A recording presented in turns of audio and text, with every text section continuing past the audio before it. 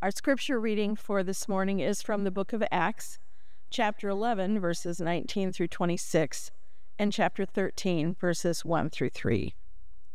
Now, those who had been scattered by the persecution that broke out when Stephen was killed traveled as far as Phoenicia, Cyprus, and Antioch, spreading the word only among Jews.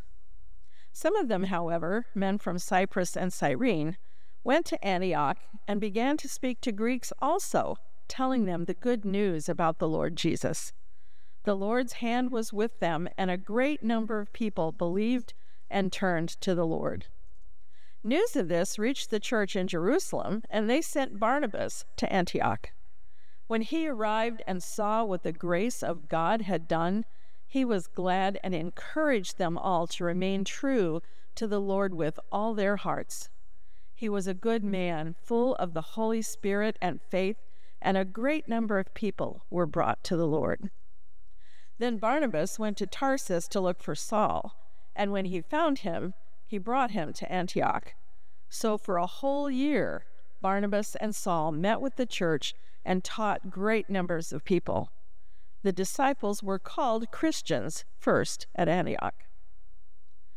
Now, in the church at Antioch, there were prophets and teachers Barnabas, Simeon called Niger, Lucius of Cyrene, Manaen, who had been brought up with Herod the Tetrarch, and Saul. While they were worshiping the Lord and fasting, the Holy Spirit said, Set apart for me Barnabas and Saul for the work to which I have called them. So after they had fasted and prayed, they placed their hands on them and sent them off. May the Lord bless the reading and the hearing of his word.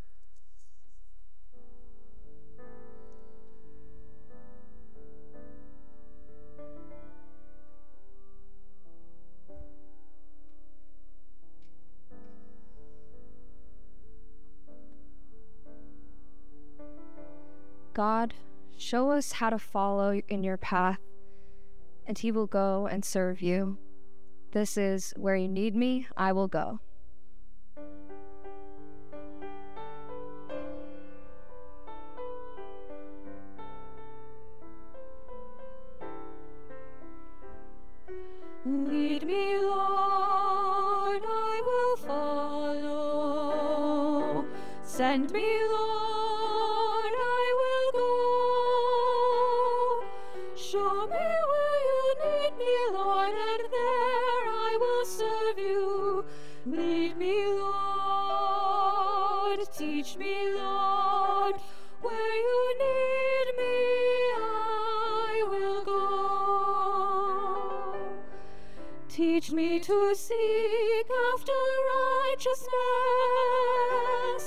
Teach me to hunger for truth.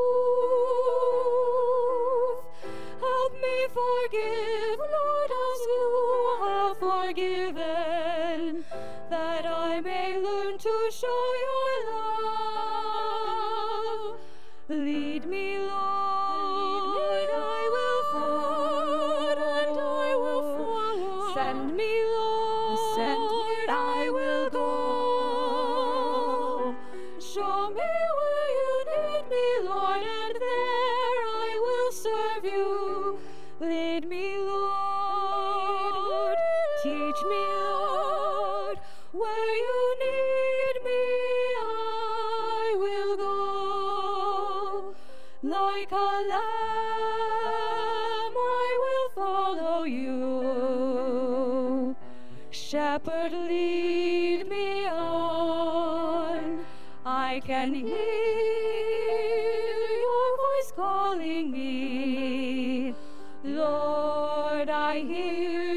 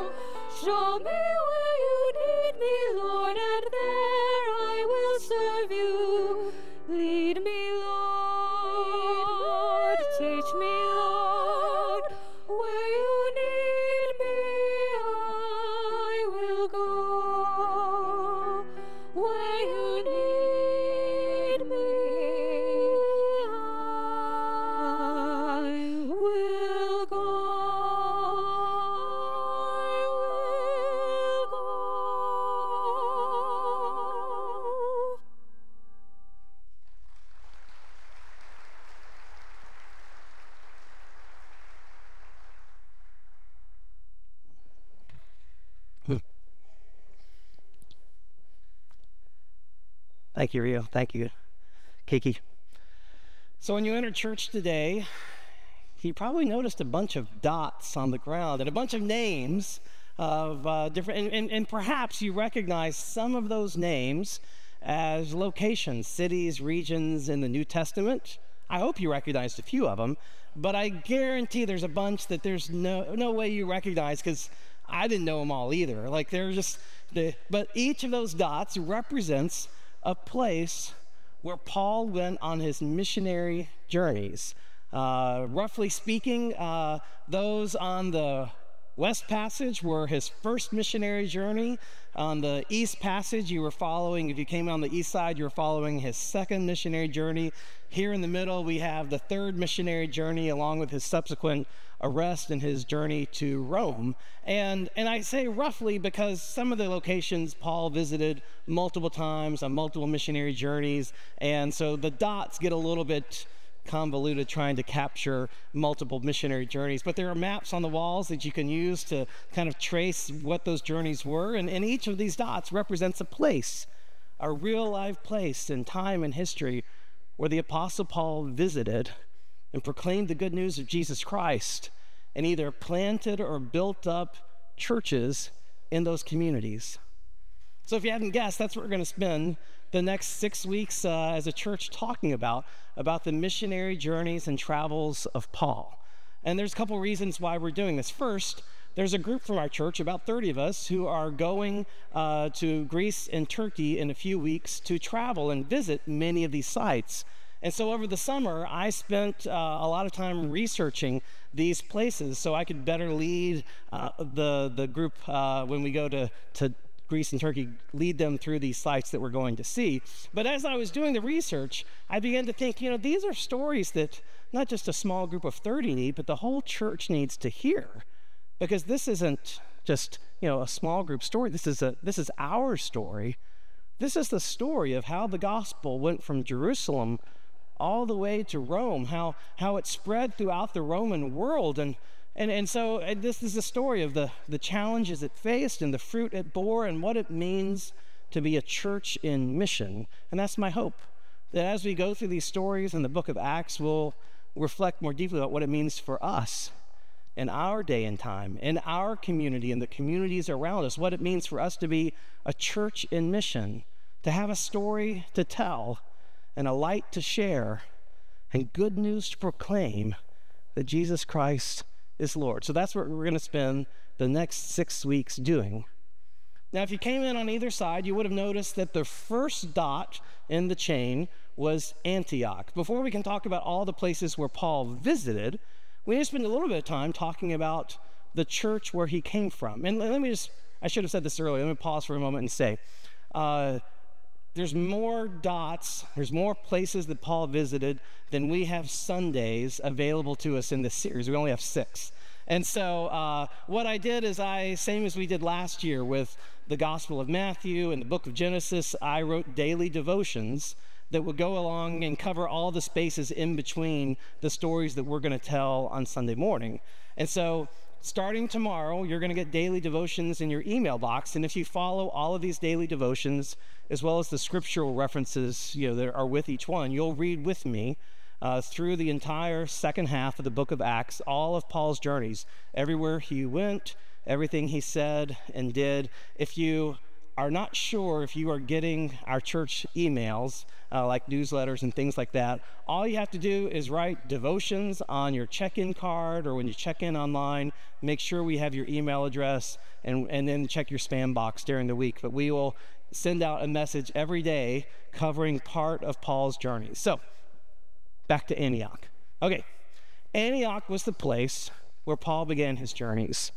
And I don't know about you guys, but like for me, I always thought of Antioch as like second fiddle to Jerusalem. Jerusalem was the big city, the center of the Christian movement. Antioch, I, I, just didn't have any conception of what Antioch was. I thought it was this small little, this small little church.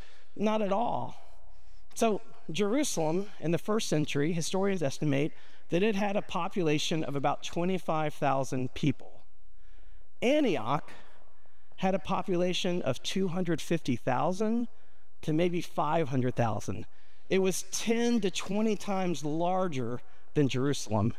In fact, it was the third largest city in the Roman Empire, only behind Rome and Alexandria in Egypt.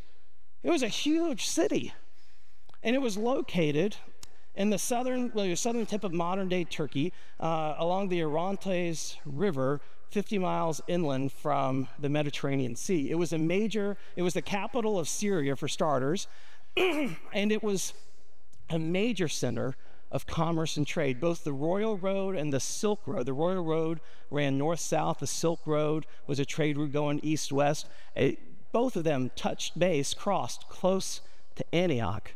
So all the goods, all the spices, all the produce from the east and from the south flow through Antioch out to the rest of the Roman Empire. It was a place of business. It, it, because it was a place of commerce and trade, nearly every different ethnicity imaginable in the Roman Empire had a community within Antioch. And that was true of Jews as well. After the diaspora, couple centuries before, where the Jewish community scattered following the, the Babylonian exile, one of the largest centers of Hellenistic Judaism took place in Antioch. It was a center for Jews who had left their homeland. And they lived in close proximity to all the different nations, and so they were perhaps a little bit more open to all their Gentile and Greek neighbors. In fact, we know that there were Gentiles who converted to Judaism before they converted to Christianity. We know that because in the Bible, in Acts chapter 6, the Bible tells us about such a person. If you go back to Acts chapter 6, the apostles were choosing seven leaders in the early church to help out the apostles. And look at the last one. It's Philip, Prochorus, I can't even say all these names. But the last one is Nicholas. From where? Antioch. And who was he? A Jew or a Gentile who had converted to Judaism. So, given this history, given this makeup of Antioch, we shouldn't be surprised that when in the 11th chapter of Acts, the Jerusalem church decided to embrace God's mission to all the Gentiles, that it would be in Antioch where that church would form and flourish. It would become the first fully integrated church where Jew and Gentile lived in close proximity and worshiped with one another. Now, the way I read the story, the ministry to the Gentiles in Antioch began before the Jerusalem church ever approved it, perhaps even before Peter's visit to Cornelius. Let's pick up the story, okay? So now we're skipping ahead to Acts chapter 11. So after Stephen was killed and persecution broke out in Jerusalem, if you remember, the disciples scattered, the early church scattered. But with them, when they scattered, they went telling everyone about Jesus Christ. And it says, you know, those who had scattered, they, they broke, they went as far as Phoenicia, Cyprus, and Antioch, spreading the word initially only among the Jews. But then some of them, men from Cyprus and Cyrene, they went to Antioch and they began preaching to the Greeks also telling them the good news about the Lord Jesus, and the Lord's hand was with them. And a great number of people believed and turned to the Lord. Now, news of this development reached the Jerusalem church, and they wanted to send one of their leaders to go and support this, this booming church, this fledgling church that was growing. And so they selected Barnabas, one of their leaders, Barnabas was known as the son of encouragement. He was a man of, of, of integrity and generosity and, and a leader in the Jerusalem church, so they sent him up there. And when he arrived and he saw with his own eyes what the grace of God was doing, God was doing something unique and wonderful in Antioch. He was glad and he encouraged them all to remain true to the Lord with all their hearts. He was a good man, full of Holy Spirit and faith. And under his leadership, a great number of people, more people, came, were brought to the Lord. But before long, the, the growth of that little church in Antioch, it surpassed Barnabas's leadership. He realized, I, I, I, this, is, this is more than my capacity. And so he thought, I need a co laborer and he went to Tarsus up in Asia Minor and he sought out Saul, who used to be a persecutor and enemy of the church. But Barnabas had befriended him, had vouchsafed for him before the Jerusalem church, the apostles. And so he knew this Saul guy, he's energetic, he's fiery, he's a great leader, he's a great teacher, and I need men like him to help me. And so he went and sought Saul out, brought him back with him to Antioch. And under their joint leadership, the church continued to grow. For a whole year, they co labored together, and the, and the Antioch church was just exploding. So let's look at a few features of this Antioch church. What made it so unique and special? The first thing I would point out is that it was a growing church. Three different times in these short verses, passages that we read, it said a great number of people were brought to the Lord. It was a growing church, which perhaps isn't really all that unique in the book of Acts. Seemingly every church was growing. It was like the Christianity was spreading like wildfire. But it is unique to talk about growing churches in our day and time and culture. In the United States, the church is not doing nearly so well. There was a, uh, a major survey done by Lifeway Research in 2019. This is pre pandemic. And in that time, they found that only 33, about you know, a third, 33% of United, of United States churches were growing. 12% of U.S. churches were holding steady, but 55%, more than half of U.S. churches were in decline. And more than half of those churches, the, the 29% of the U.S. churches, were in steep decline, losing more than 5% of their membership annually. That's just the whole picture. The United Methodist Church, we struggle even more. In 1968, when the United Methodist Church was formed, we were formed by the joining together of two denominations the Evangelical United Brethren and the Methodist Episcopal Church. And when we joined, we were the largest Protestant denomination in our country. We boasted over 11 million members. Now, fast forward, and this is in 2022, so this is even before the Global Methodist Church split. We were down to less than half that number. And I'm not just picking on United Methodists. What's happened in our denomination is reflective of what's happened in every mainline denomination, what's happened churches across the board in the US. So, Gallup poll in 2020, they do this survey every few years about religious life in the United States. And 2020 revealed, now this is we're moving a post pandemic year, but 2020 revealed for the first time since they began measuring this, going back to the 1940s, for the first time, more people in the U.S. were, were unaffiliated with a church or a congregation or community of faith than those who professed an affiliation. 53% had no connection to a church. First time in our history we crossed that threshold as a country.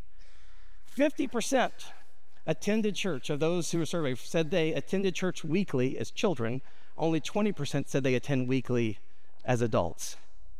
75% said, oh yeah, yeah, go to the next slide.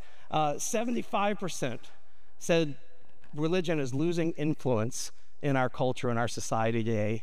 And then here's the part that kind of broke my heart 77% of that 53% that said they weren't attending church, 77% said they had no interest in joining or being part of a church in the future. That's a pretty high percentage. And I'm not trying to be a Debbie Downer or a killjoy. I talked about that a few weeks ago. I'm not trying to bring us all down. I think at a base level, at our core, we all want to be part of a vibrant faith community. Don't you feel that? Like we want to be part of a church that's healthy and growing. And, and, and, I, and let me be clear when I talk about growing churches, I'm not just talking about numbers and numerically. I think there's lots of other ways to recognize growth in church. I'm talking about churches where there's vitality and life. the movement of the Spirit, the fruit of the Spirit, the fruit of the kingdom. We all want to be part of a church where we sense God is present and lives are being changed and we're making a difference in the world. And Antioch was such a church. So let's talk about a couple other things that were taking place in Antioch that I think were part of the growth they experienced. The second thing you note about the Antioch church is that it was diverse and inclusive. As I said, it was the first fully integrated church you know, where, where, where Jew and Gentile worshiped and lived together. There's this line in the beginning of Acts chapter 13 that one of those verses that I normally skip right over because it contains a list of names that mean nothing to me, right? So you probably, when Joyce read it a moment ago, you're like, these those names mean nothing. So let me just review it, okay? So next slide says, now in the church at Antioch, there were prophets and teachers. And here they were Barnabas, Simeon called Niger, Lucius of Cyrene, Manaen, who had been brought up with the Herod of Tetrarch, and Saul, and wah, wah, wah, wah, wah, wah, wah, we don't, you know, like, what does this mean to us? Well, let me show you on a map what this looks like, okay? Let's see where all these people are from. First, we have Barnabas, who was a Jew from Cyprus. Then you have Simeon, called Niger. That called Niger means that he had black skin. He was likely from southern Africa or at least had heritage from southern Africa. Then you have Lucius, who is from Cyrene, northern Africa, most likely Arabic of descent. And then you have who was a childhood friend of Herod the Tetrarch. You know, who's that? That's that's Herod, not King Herod from you know Herod the Great that was part of Jesus' birth story when the wise men, but his son, Herod the Tetrarch. This is the Herod who turned over Jesus to Pontius Pilate for punishment. And Manaen grew up with him. They were childhood friends, which tells us that Manaen, his family, was buddy buddy with royalty. And then you have Saul, a Pharisee from Tarsus up in Asia Minor. Can you picture a leadership team of a church more diverse in ethnicity and geography and socioeconomic status and religious background. They were all over the map, and yet God had brought them together in this place of Antioch, and the church there recognized their gifts, empowered them for leadership. Now, we say this phrase almost every week when we open worship. Uh, Kim first was the one who coined it. We all said, we like this phrase. She says, Welcome to Zionsville United Methodist Church, a place where you can find your place in God's story. And that's, I mean, that's what we do. We, we kind of recognize that everyone has a story. And we claim by faith that God is the author of your story. Whatever your story is, God's been the one who's writing it. Every person represents a new story that God is writing in the world. And church is a place where God weaves together our individual stories into the great story of His Son, the story of grace and redemption and new life, the story of hope and, and joy in the kingdom. We're all being woven into this one great story that God is telling. And all this to say is that we believe that every person who comes here, it doesn't matter who you are, it doesn't matter how old you are, it doesn't matter where you're from, what's in your background, your story matters. Your presence matters. And we hope that this can be a place where you discover your place in God's story. That's why I said earlier our hope for your presence here today and for your involvement in our church is that you're not just an attendant, that you're not just someone who shows up on Sundays and listens to the sermon. I mean, that's great. We're not, we're glad you're here, but we hope you take that next step to get involved, to grow, to meet people, to find community and belonging because that's what the church is about is when our stories get mixed up with each other and especially mixed up with the great story of Jesus Christ. That's what we're called to be. a diverse and inclusive place where everyone is loved, where everyone is welcomed, where every gift is empowered, and every story is honored. And then one more feature about the Antioch church they had a missional heart. They understood at a basic level that they didn't exist just for themselves. It wasn't an exclusive club. They understood that they existed to share the love and grace, the story of Jesus Christ with their neighbor. Let me give you two quick examples of that church in Antioch. First, they had a prophet among us named Agabus who, who predicted that there was going to be a famine that was going to sweep over all of Judea. And sure enough, that famine did happen. But in advance of the famine happening, look what they did. The disciples, as each one was able, decided to provide help for the brothers and sisters who were living in Judea.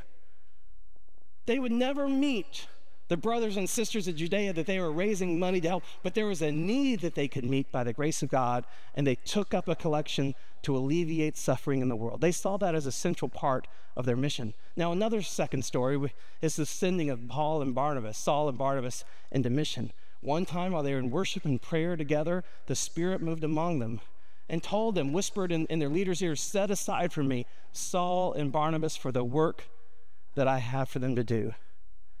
Now, think about it. Saul and Barnabas were the keys to that, to that growth of that church, right? Weren't they the ones who taught, who preached, who built the church from a small thing into this great thing? It would have been natural for the church at Antioch to say, well, hold, hold on, Spirit. Can't you choose someone else among us to send out? Like, we need these guys. But they weren't possessive, they weren't hoarding the capital of leadership they had they understood that the kingdom of God was bigger than their small church. And so, in obedience to the Spirit, they commissioned and blessed and sent out their top leaders to start new churches in the world. And so, I want to share with you today that the bishop has called me, and I've been called. Actually, no, I'm just joking. Take a deep breath. Uh, I thought, man, that'd be like the perfect setup and pitch. Like, you know, like I've been called. No, no. Uh, Take a deep breath. Good news is, neither I nor Kim nor Ashley, none of our pastors are feeling God's call, the Spirit calling us to serve in other communities. That's not what today's about. I do, however, lift up this example to say, look at this church that understood how big God's kingdom was. And to me, this fact that they sent Barnabas and Saul off reflects that they had a mission heart. They were not maintenance minded. I feel like I've quoted Dr. Peter Storey, my seminary professor, a few times lately, but he was the first one I ever heard use these contrasts, what he described as a mission minded church between a maintenance minded church. And the way he explained it to us in class, he used this illustration of a, of a bocce ball. He said in some parts of the world, especially in, you know, in South Africa where he was from, bocce balls were weighted on the inside. There was a weight attached to the wall of the ball inside, so that when you threw the ball, when, when the ball had a lot of momentum, that, that weight would, centrifugal forces would keep it in the center and it would roll straight as an arrow. But as the ball slowed down, that weight would slide to one side or the other, and then it would pull the ball off course and it would curve. And, and skilled bocce players knew how to use that curve to their advantage. Anyways, he said, so this is what it is to be the church. In every church, there is a weight, and the weight is sin. Because sin is present in every church. We're human. And sometimes we disagree, and sometimes we fail and fight. Sometimes we don't live up to who God has called us to be. There is a weight of sin in the church. But as long as we are moving forward in mission, as long as we have the momentum of the Spirit, that, that, that sin is kept in check. It, it doesn't pull us off to the side. It's when we slow down, when we, when we turn inward and focused only on ourselves, that that, win, that that sin begins to pull us to one side or the other. We, we forget the mission, we forget the call that God has in our lives. We get too focused on ourselves rather than turning out to the world in love and grace. And I've thought about that illustration often, especially over the last few years, as, as I think by necessity, we have had to turn inward to really work through some difficult questions and conversations as a church. But by golly, we cannot forget that we exist to serve our community, that we have a mission that is bigger and greater than us, that we are called to love and serve and welcome and include everyone with the love and grace of Jesus Christ. That is our mission. And I'm so thankful for all the ways that this church has continued to practice and will continue to practice the mission, even in the midst of a hard season. Like, I'm so thankful that I serve a church that, that serves the community, that we, we build wheelchair ramps for saws, we build homes through Habitat for Humanity, we provide clothing through Love Inc., food through the You Feed the Missional Food Pantry, we serve downtown meals at Fletcher Place and, and, uh, and, and Roberts Park. We, we, we, we, we teach immigrant populations English. We run for clean water. We, we support victims of domestic abuse through, uh, through the Coburn Place, and we support at-risk children through Isaiah 7, 117 and the Indiana, Indiana United Methodist Children's Home, and we support development overseas in Guatemala and Haiti, and I'm sure I'm forgetting one or two of our core missions, and I'm sorry if I forgot one of yours, but I can't even begin to encapsulate if I just name programs. That doesn't even capture the daily the thousand acts of love, grace, welcome, hospitality, care that we give to one another and that we give to our neighbors.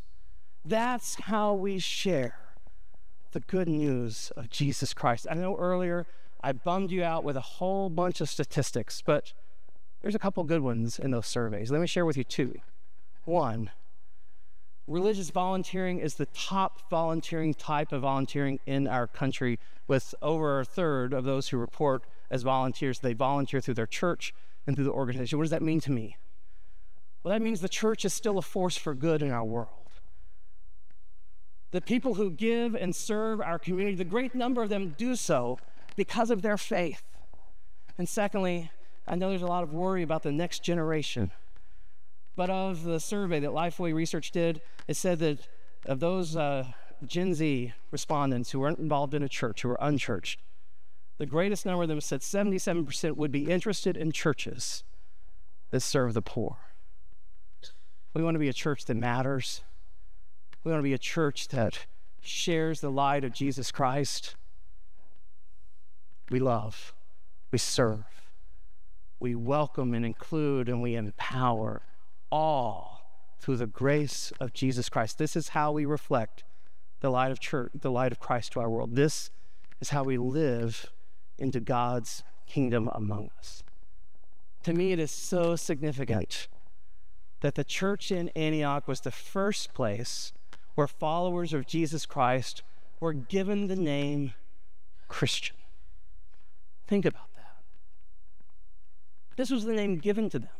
They didn't call themselves that. Their neighbors, their community saw how they lived, saw that these were people who belonged to and reflected Jesus Christ to the world, and they called them ones of Christ, Christian.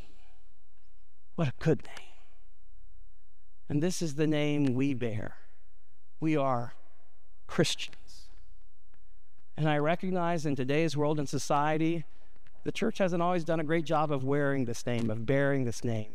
There are some people in our world who, who hear Christian and they think judgmental or hypocr- uh, hypocritical or whatever.